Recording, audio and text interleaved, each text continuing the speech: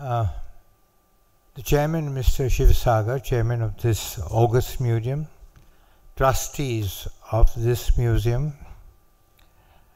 uh, Mr. Mukherjee, ladies and gentlemen, at the outset, let me thank uh, Mr. Shivasagar, the chairman, and the trustees for doing me the honor of speaking on this great man, you know, in memory of this great man, the 25th uh, lecture.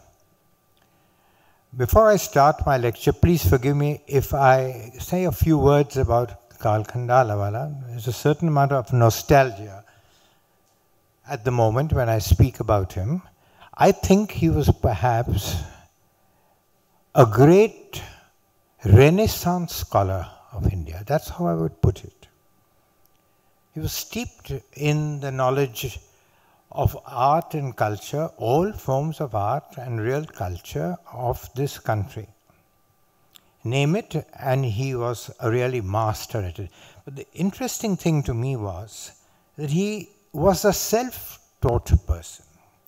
He taught himself by traveling across the country from Kandahar in Afghanistan down to the east coast, from north to south. What he did was visit museums, visit personal collections, making a great study of them.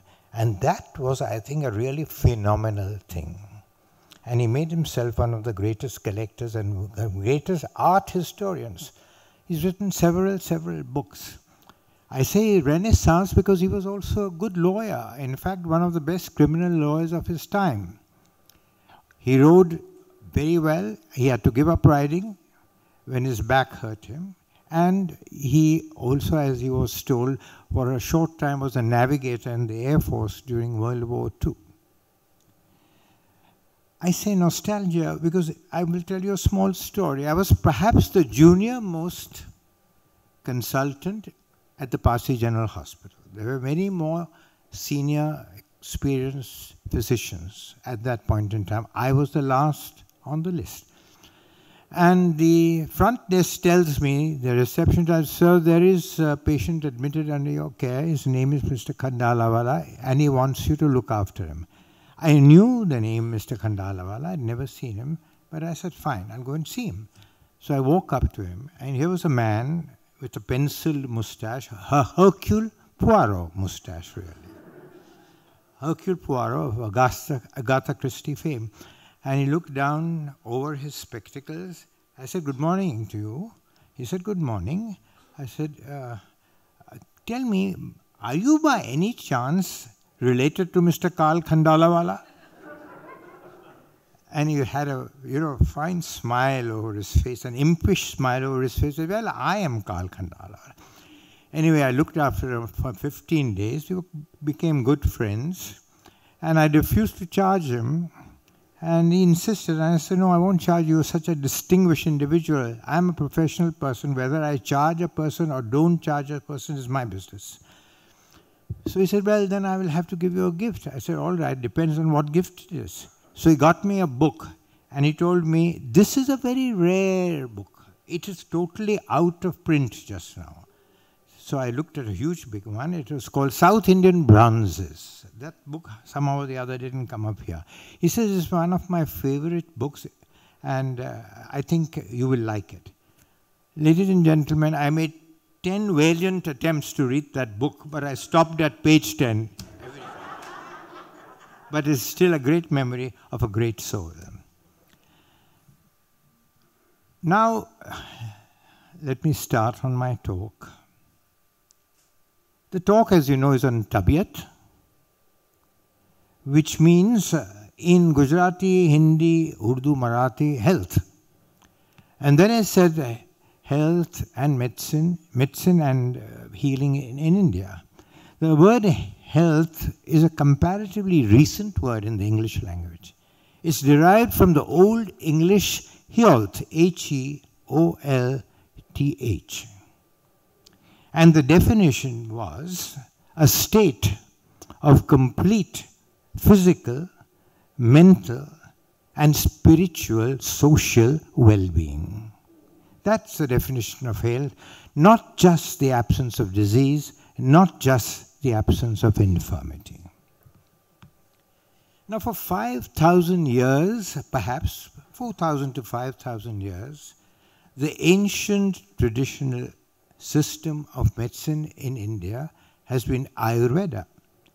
And this system has looked after the people of India as best as possible.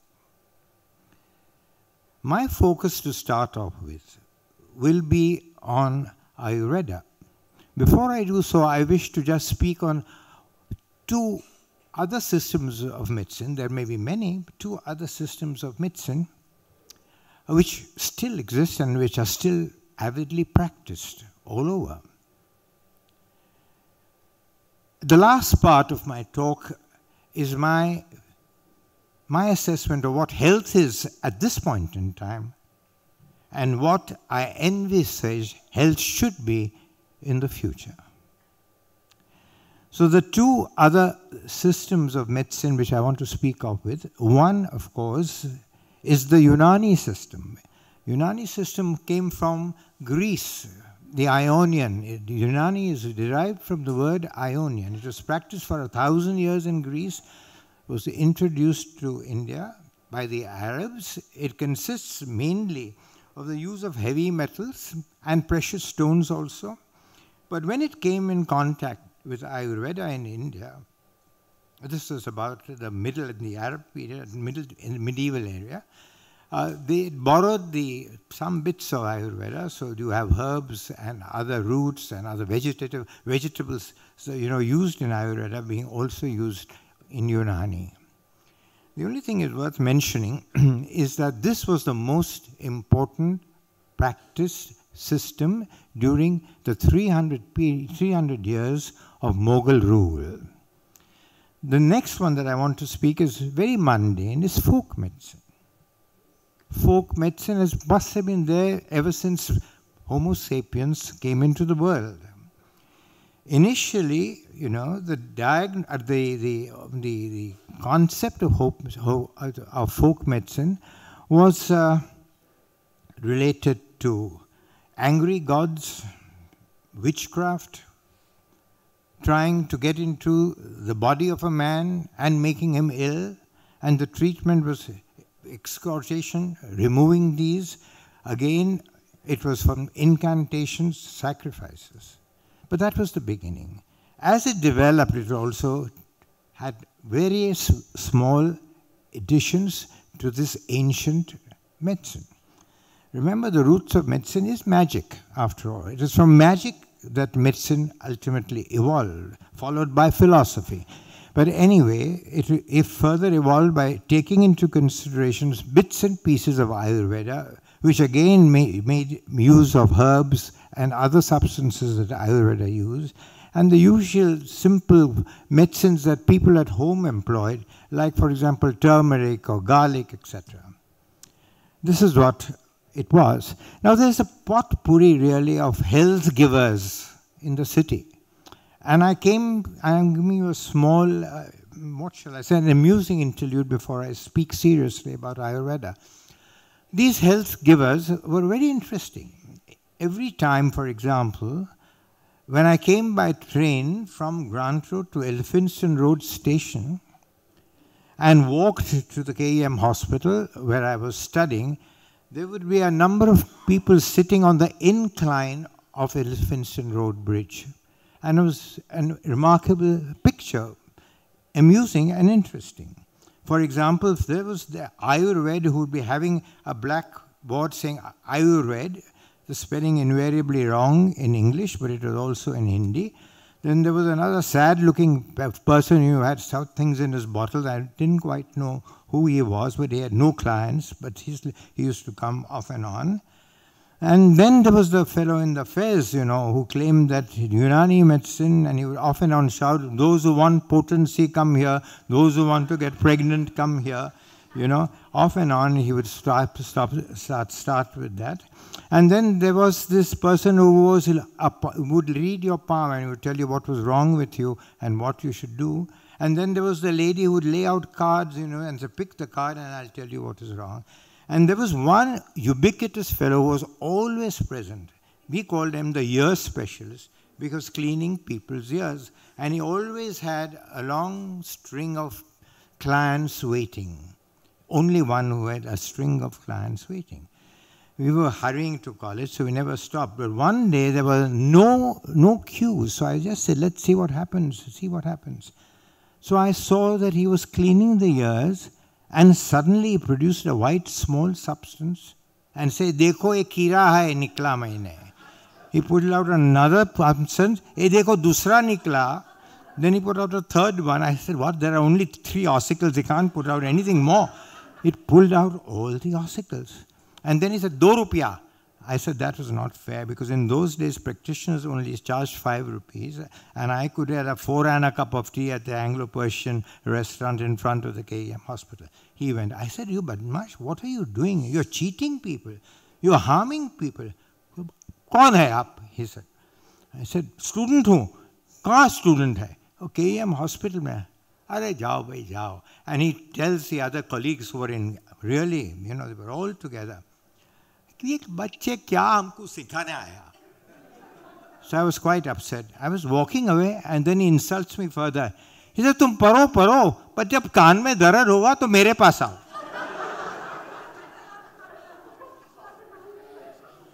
Right, ladies and gentlemen, now the serious talk.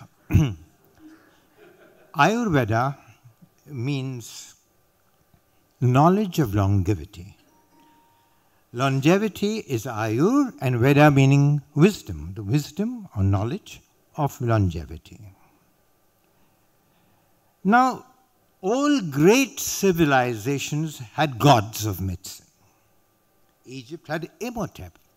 He was a genuine, real doctor, a real Renaissance person living in 2500 BC, mind you.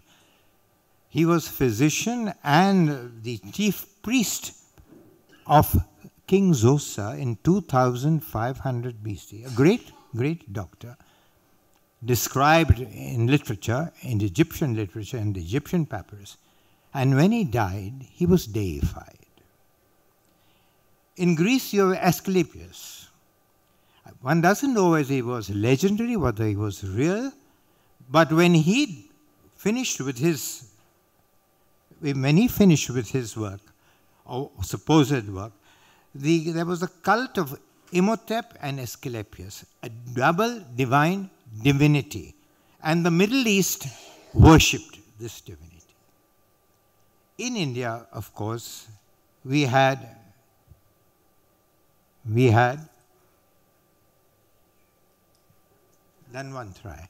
Now I'll tell you the legend of Dhanvantari. It is believed that he came out from a sea of milk with the moon with Surabhi, the sacred cow, with Varuna, the goddess of wine, with Prakriti, the tree of paradise, and with a winged horse very much like Pegasus of Greek mythology.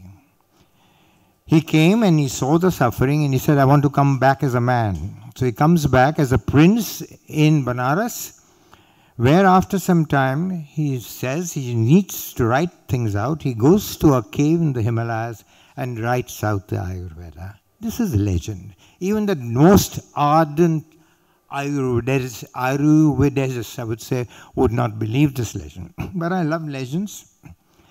I think they add a color to the pages of history. Perhaps, you know, though we will never know whether it's true or not, it is said that some wise rishis sometime way back at time of the Vedas went into a cave in the Himalayas and decided to discuss things as related to health and disease in man and wrote the Ayurveda. I don't know, nobody is going to be able to prove it or disprove it, but there are two names which I read often. One is called Agnivesh. Agnivesh was supposed to be the first teacher of Ayurveda. And he had his guru, whose name was Purna Vasu, Arithya Purna Vasu, who was supposed to be one of the great rishis who, you know, had studied and wrote on Ayurveda? I don't know. It's impossible to tell. Well, the two principal pillars of Ayurveda are the Charaka Samhita, going into volumes, six to eight volumes of Sanskrit describing everything in relation to medicine, It had some religious uh, stuff inside it also. And the Sushruta Samhita. Charaka, a great physician, and Sushruta, a great surgeon. Now, the time of work and living of Charaka is still perhaps in dispute. The Ayurveda still say that he worked in 500 BC, but that's not true. Current work shows from the Bowers manuscript, I'll tell you about it, that Charaka probably lived around the 5th century CE, AD or CE. And the Bowers manuscript was written on a bark and it contained again in Sanskrit and Prakrit. And it was the property of a Buddhist monk called Yashomitra, who lived in a monastery somewhere at the trading point on the Great Silk Route from China to India and further. And this Yashomitra, when he died, had a stupa built at his name. This is not the stupa of Yashomitra, this is from Sanchi, which I couldn't possibly get. But he must have been a very great Buddhist priest to have a stupa, a stupa and for his name. And his small belongings were buried within the stupa, were placed inside the stupa. Now comes Colonel Hamilton Barr. He was deputed by the British government to trace the murderer of a Scottish gentleman called Mr. Dalgey, who was trekking in that region. It was supposed to be an Afghan tribesman who had murdered him. So the Lieutenant Bowers, therefore, goes up in that area and at the trading post called Kuga, where, where Yashomitra used to live, he sits there wondering how he used to go about it. That point in time, some treasure hunters come, they had scooped out something from this stupa, and it was a manuscript. And they offered it to, to Lieutenant Bowers, saying, Would you like to buy it? He bought it because he realized it was very ancient and it might be valuable. He sent it to the Asiatic Society in Calcutta, which was a very venerable and very, very renowned society.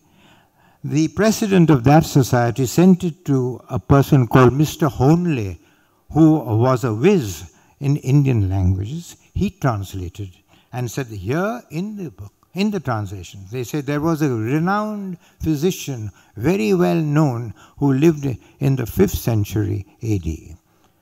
There was another Orientalist, a French Orientalist by name Sylvain Lévi, who, however, managed to get the Chinese translation of a Buddhist manuscript in which it is said that there was a great physician called Chanakya who lived in a time the, in, in, in the reign of Kanishka, and that was in second century AD. So you have one second century, fifth century, anyway, close to each other. but surely Ayurveda must have been much earlier than that. And there was a gentleman called Zysk who did a lot of research on this, and I read that, and he said that the roots of Ayurveda were in the ascetic milieu of the Buddhist age in the 5th, 6th century BC.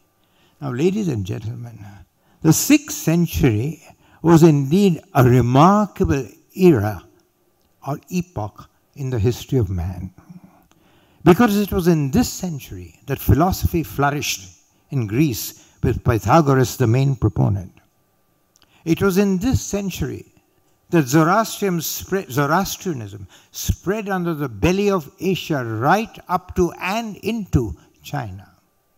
It was in this century that Isaiah preached in Judea, where Buddha preached in India, Mahavir preached in India, Confucius and Lao Tse in China.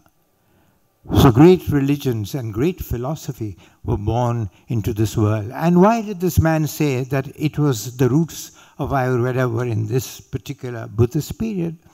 For the simple reason that Buddhist documents at that time, when studied, show that the medical literature that was present in these was exactly the same as was present in the Charaka Samhita.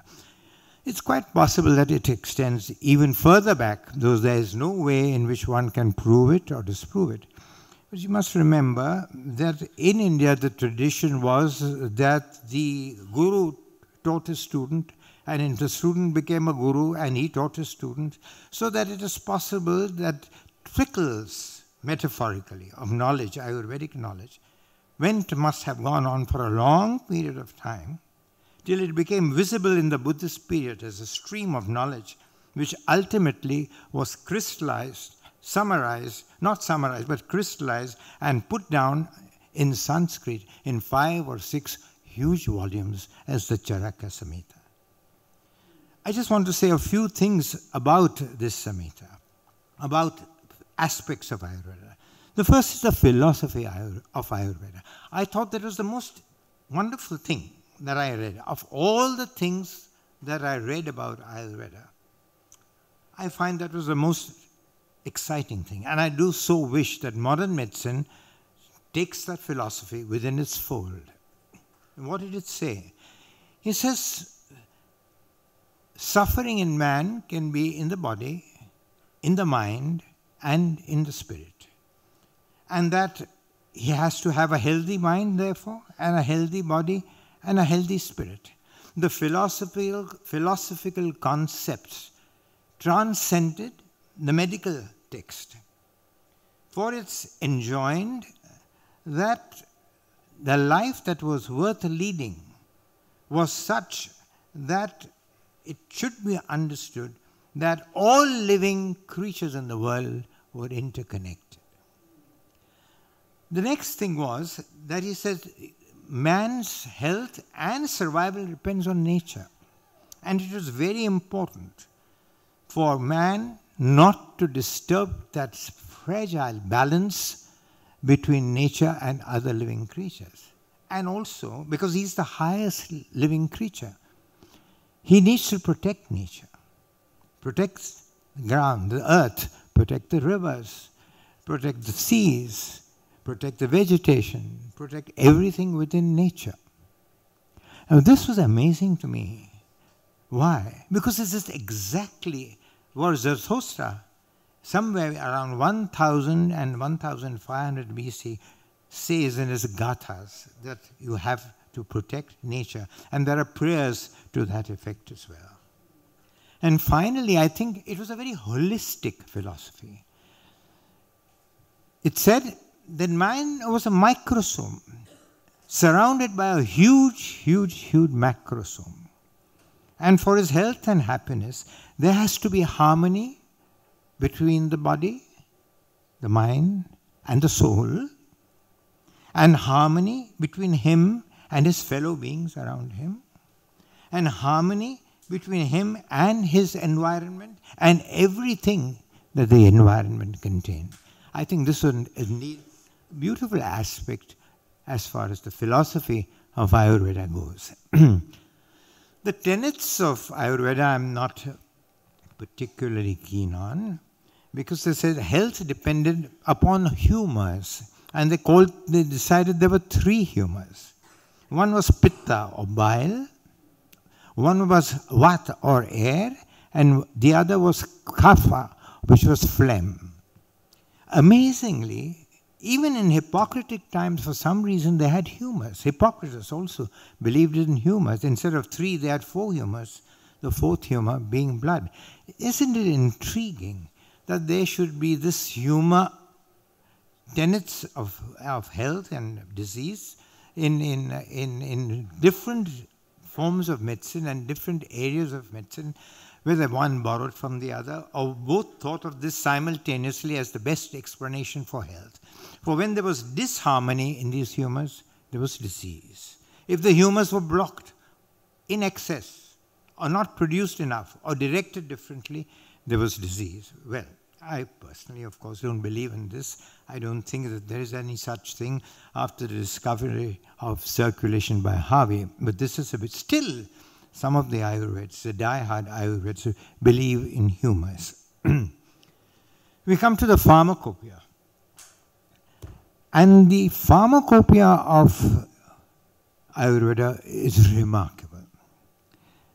There were some 300 or 400 diseases described, and there were some 700 or 800 recipes or, or drugs that was desired to find them. I'm not an expert on this. I have never prescribed an Ayurvedic drug. All that they say is that you have all sorts of herbs and roots and flowers and petals and vegetations or vegetable matter it also had animal matter, and later on, which was influenced by, by the Hakims, and it also had some heavy metals within it, which was rather unfortunate because when heavy metals came into Ayurveda, you had serious side effects produced as a result of heavy metals. Also, they had a syringe, you know, and this was this syringe which reminded me of my father syringing my ears to remove my wax. It's exactly like that. But actually, it is a syringe for enema, it is a syringe for injecting herbs rectally. And, uh, you know, the ways in which, you know, you, they used to purge, they used to induce vomiting, they used to, uh, uh, you know, give these uh, herbs via by mouth, by, by, by the rectum, and uh, this cleaning the nostrils, whatever it is. These are some of the methods besides the medications that were used uh, orally, orally. And when you come to the Samhita itself, it had it described all diseases. I said they described 300 diseases and 700 uh, medications that were against the disease. I'm not going to go into that because it doesn't make much sense. All that you know that this is how Ayurveda was. Let me get on to Sushruta, who I think was a remarkable, remarkable surgeon. Way, way, way ahead of any surgeon that you know. Way, way ahead of what was described in Hippocrates' Corpus Hippocratum, the surgery described there. He was a, not only a very skilled surgeon, he was a great teacher. A great teacher. And he taught at the bedside. The patient was brought to him and he would, sit, he would teach at the patient's side. He was a great, great, great teacher and a great innovator. And he had some great surgical prowess. And I can only name three or four which have definitely been shown in literature. One was the cataract surgery. It was he who started cataract surgery. And it was soon spread by Buddhist monks the technique was soon spread by Buddhist monks across India to Southeast Asia. Also, he was an expert at lithotomy, that is the removal of a stone from the bladder. That's really remarkable. Also, also, he was very expert at removing a dead fetus from the uterus. And most important of all, he was the father of plastic surgery. I shall deal with that in a few minutes, in a few moments. And you can see what an innovator he was with a number of instruments he innovated. If you see these instruments, eh, remarkable. If you notice, there is one thing peculiar about these instruments. Every instrument has the head of an animal. Isn't that strange? It just shows the link between man and other living creatures, if you ask me. Now, what happens? A strange thing happens. After Sushruta's demise, surgery went into a decline. It's amazing. The only reason one can think of it is that the caste system was sharply divided in sharp lines. And therefore, the Brahmins, who were mainly the Ayurvedics, must have had some, some feeling not to touch people who are below their caste and therefore they preferred to treat with medication and not with the knife. But not to worry, the barber surgeons come into play. The barber surgeons took up surgery. They are not to be laughed at. Many of them were very good surgeons, mind you. I'm thinking of the great barber surgeon in the West, Ambroise Paré, in the Renaissance time. He is even today considered one of the greats of surgery in Western medicine. So they were not to, to be laughed at the barber surgeons really took over. And now an amusing story again. There was a Parsi gentleman who used to ride a bullock cart and he was in the pay of the English during the war between the English and Tipu Sultan sometime in I think 1791. And the soldiers of Tipu Sultan captured him. They chopped off one hand and they chopped off his nose. He didn't mind his hand being chopped off. He was very upset that his Parsi aquiline long nose was no longer with him.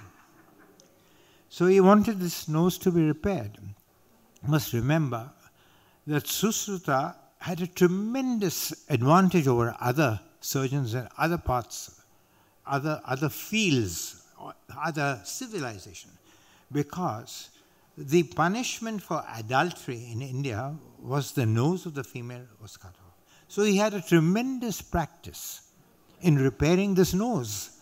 And this is how this man's nose was repaired. Not, not, not by a barber surgeon, not by an Ayurved who had been trained in the school of Susruta, Ayurvedic medicine, by an ordinary bricklayer. The point was, at that point in time, any individual who was adept with his fingers, you know, would practice surgery. This was an ordinary bricklayer, and this was the practice that he show me the earlier one. This is Susrutas, a flap cut from the cheek, a skin flap, and then shifted over onto the nose, waiting for time to repair, and he had a good nose. She had a good nose. Show me the other one now, please. The next one. No, before that, this one. This is the remarkable. This is the one that this bricklayer used to repair poor old Cowasjee's nose. A leaf is placed over the destroyed nose, and this leaf is placed on the forehead, and it is cut, rather, a, a, a, diagram is made, a skin removed, and it is turned over over the nose so that the nose stays repaired. Now, this, this procedure was witnessed by two senior presidency surgeons in the presidency of Bombay. And they passed it on into the Indian Gazette. And the Indian Gazette passed it on to so called, they called it the Gentleman's Magazine in London. I thought they would put it into the Lancet, but the Lancet came after that. So it was in the Gentleman's Magazine and it was read by an English, young English surgeon. And this young English surgeon took note of it, tried it on in patients of his where a nose had to be repaired for some reason or the other, and he reported it as the Hindu method of repairing the nose. And believe you me, you know, you will, I, I will tell you later, this really plastic surgical procedure had been passed on to Europe in, by the 14th or the 15th century. But it lay quiet till this gentleman, till this English surgeon put it into practice so that the whole of the UK and the whole subsequently of Europe became aware of it. Now I want to give you some information on other aspects of Ayurveda.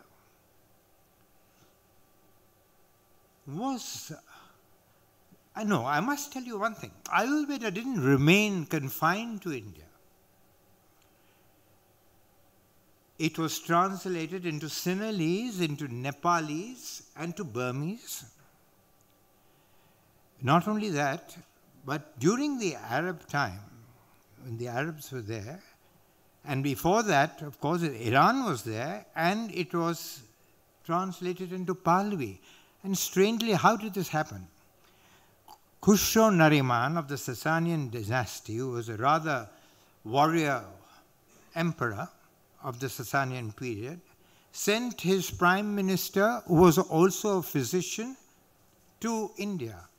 He goes there and he goes into the court of Vikramaditya, the legendary Vikramaditya, a Kushan emperor.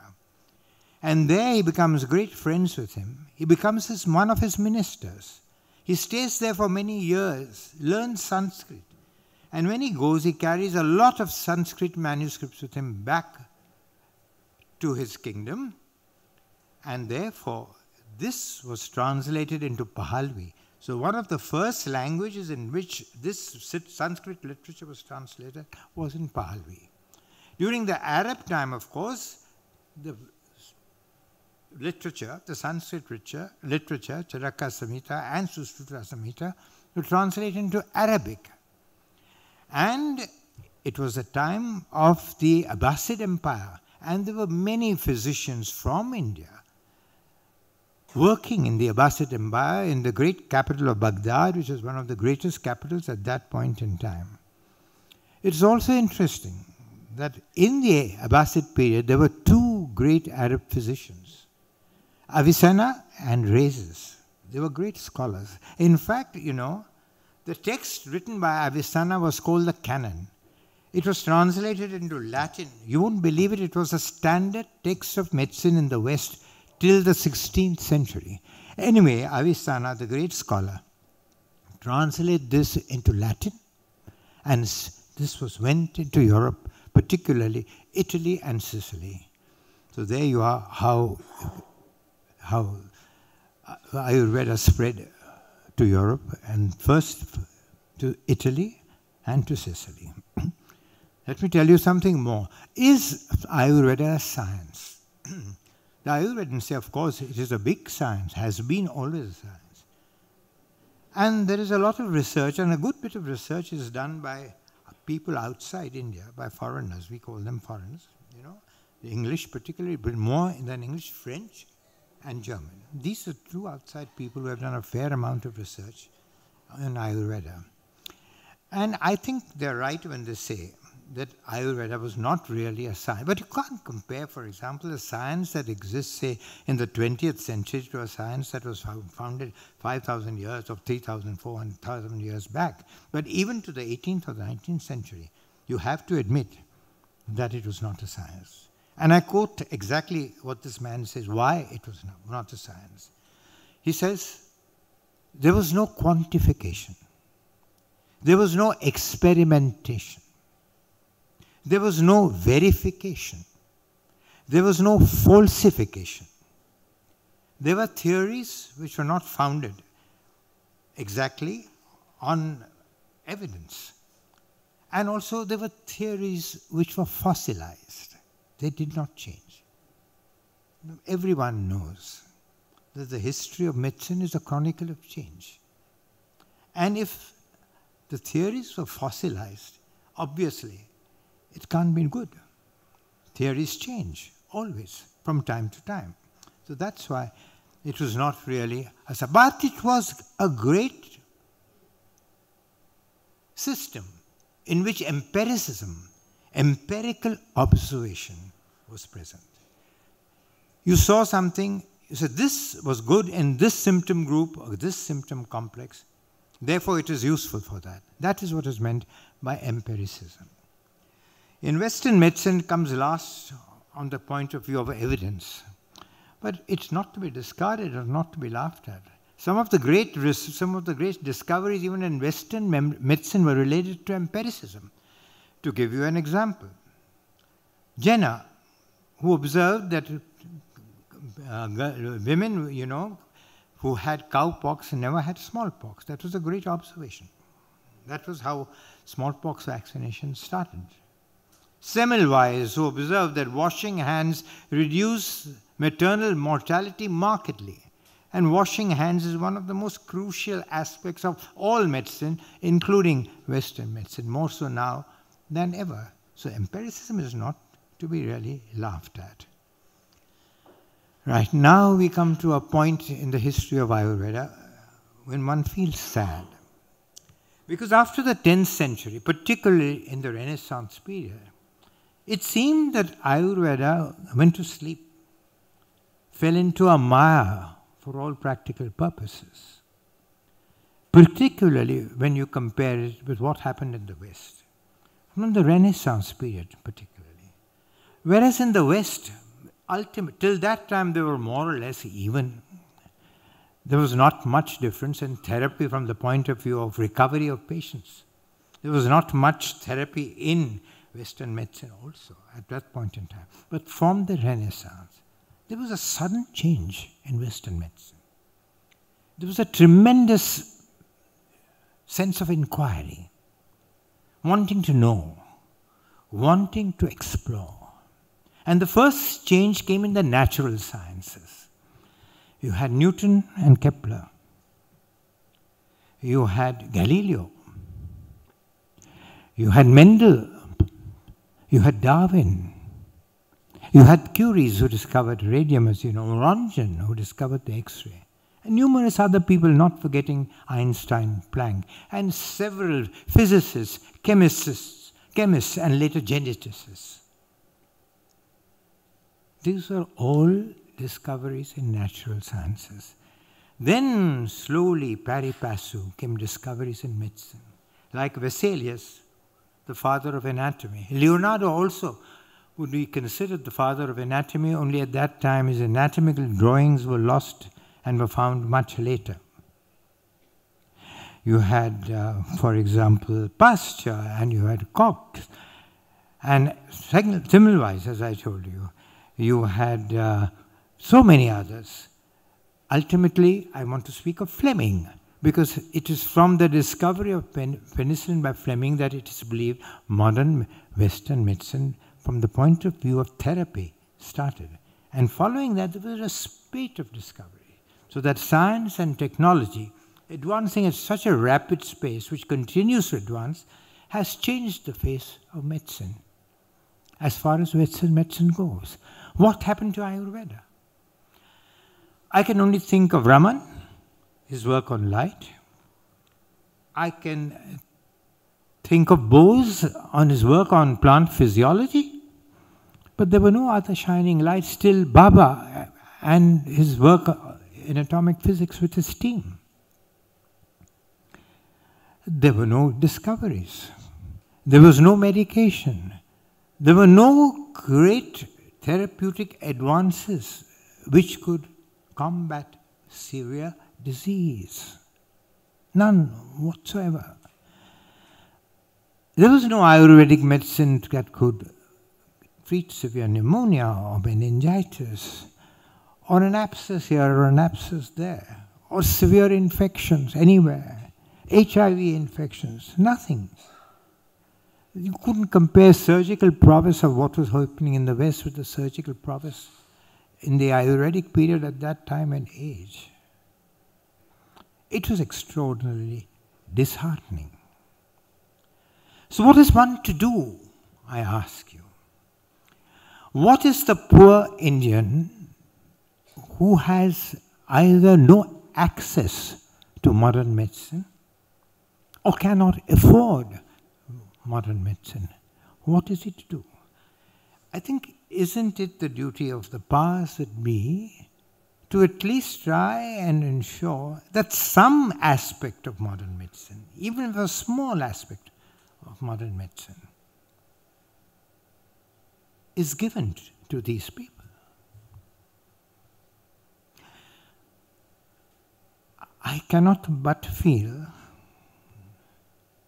the poor Indian, the Indian living in distant rural areas and villages that dot the landscape of this country, Indians, poor Indians living in tribal areas, the marginalized Indian, the trampled upon Indian, the outcasted Indian, even the Indian living in the large slums of our cities deserves a much better deal with regard to his or her health. I cannot imagine, if you ask me, how these poor people can bear the lot with such equanimity and fortitude. Perhaps it's the belief in uh, great faith in God. Perhaps it's the belief in karma, in religion. Perhaps it's the belief that what matters the body, the spirit, the soul is always there. It was, isn't it in the Bhagavad Gita, for example, which says, Never the spirit was born, the spirit will never cease to be. Never was the time, it was not.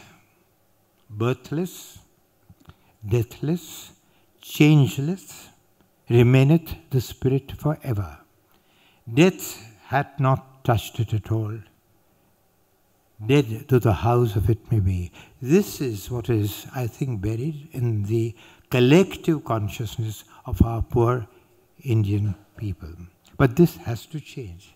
Does it mean that because of that you're not going to give some benefit of modern medicine to them? Isn't it the first principle, ethical principle, that you need, you need, you need, you need beneficence? Shouldn't we have beneficence for them? Before I go further, I want to say one more thing. And that is the importance of faith in all medicine particularly so in old medicine, very much so. In Egyptian medicine, in Greek medicine, you have Asclepius, for example. You know, he had people had faith in him. They would go down and lie down in his temple. The next morning, they would say they were well. Faith is so important. We look at, for example, in the West, Lourdes, faith in the Virgin Mary. The similarly in Portugal, in Spain, in South America, in Mexico the psyche of the Indian, particularly the poor Indian living in the villages, is simply governed by faith in religion and prayer. You must remember that. And this is more so in the ancient times. So that, uh, you know, if he was ill or he wanted health, he would travel miles to a place of worship which he feels might give him that. So you had places like, for example, Shirdi in near Bombay, or you have places like the Golden Temple for the Sikhs. You in Kashmir, you have Hazratbal, you know, in, in, and so many other places. So many other places. You have Ajmer, the Dargah of Ajmer, they all travel to these places, and if they are too ill, they have proxies who go in on their behalf. But I also want to stress faith between the doctor and the patient. It is so important. There is a bond between a doctor and a patient which is really at the heart of all medicine. It is a bond which encourages trust between the doctor and the patient, reinforcing an unwritten covenant which has been hallowed by time. Now, this bond, you know, is not produced by the science of medicine, ladies and gentlemen. It is produced by the art of medicine. It is the art of medicine which will enable a doctor to reach down to a shattered morale of a very sick person, help it, and also perhaps soothe the distress in the mind of such a patient. But it is an art, I'm afraid, which is uh, which is forgotten, which is lies in the background. I think it is the mechanization of medicine and the hubris of its science and technology that has thrown this art into the shadows. It is a forgotten art.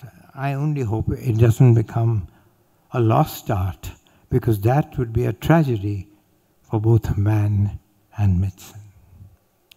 Well, now Ayurveda has nothing as I said in modern age, for the very sick man. I would like to conclude first with a conjecture. Can we combine Ayurveda with modern medicine? They call it biomedicine now. No, I don't think it's possible. To form a corpus of medicine which is universal, I don't think that's possible for several reasons, which I won't go into. Then I would like to make a couple of statements. The first is uh, that, that I feel that Ayurveda must, must develop a greater scientific temper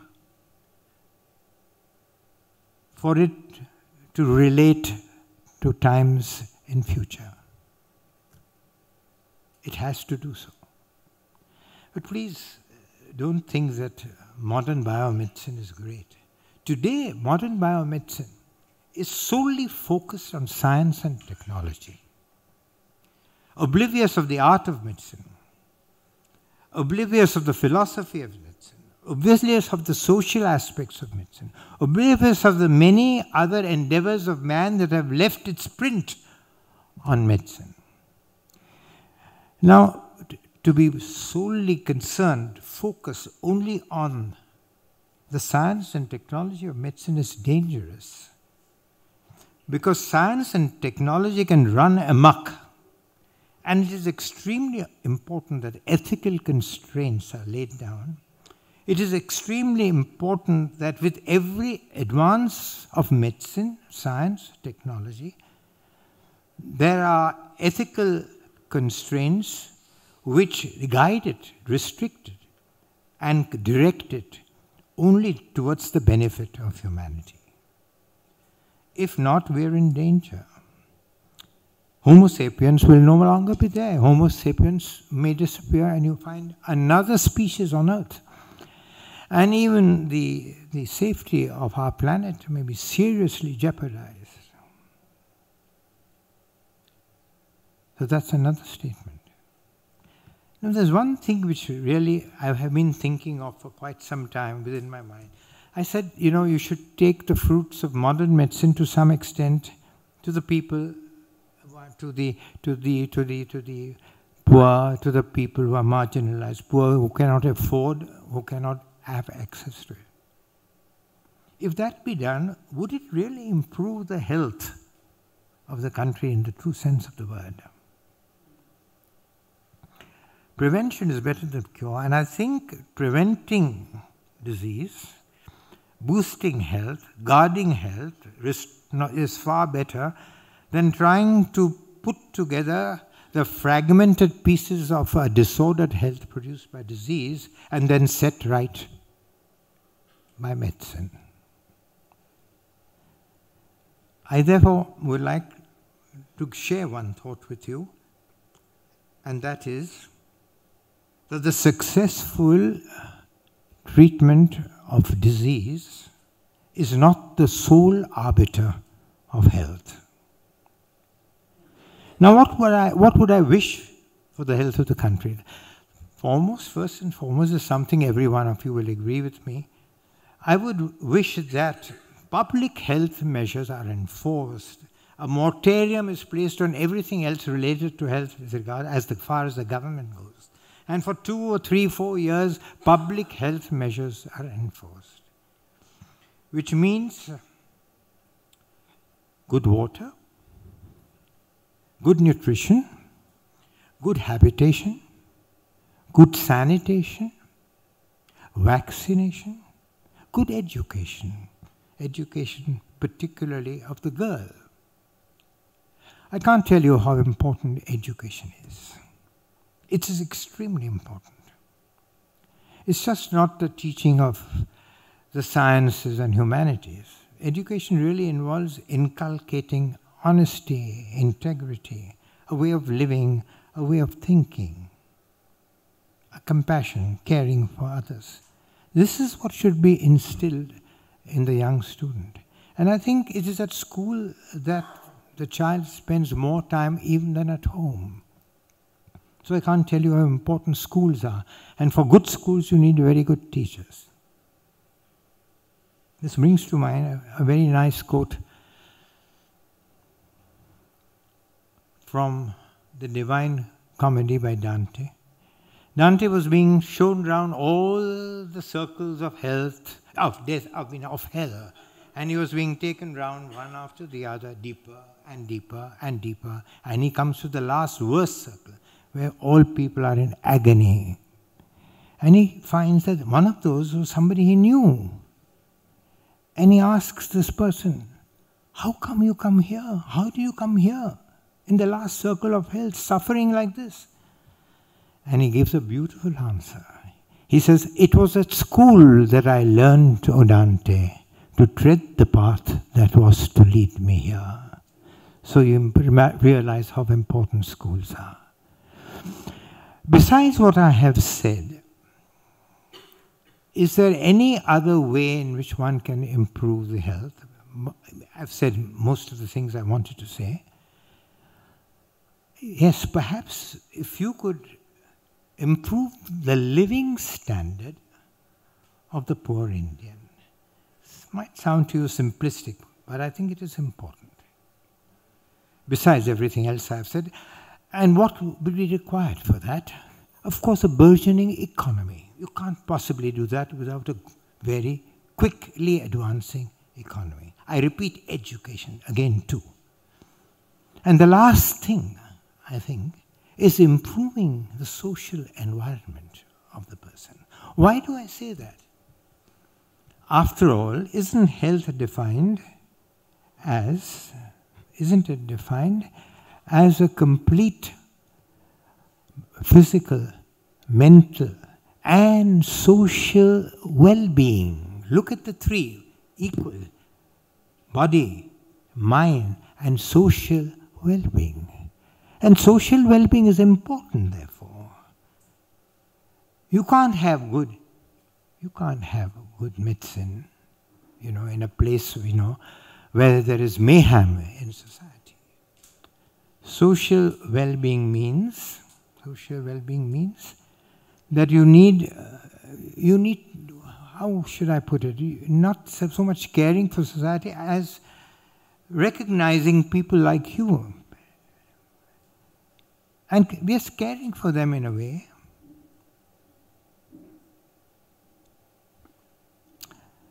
What else? You need a good social milieu. Milieu. Milieu is a French word also used in English. And how do you get a good social milieu? By also advocating harmony,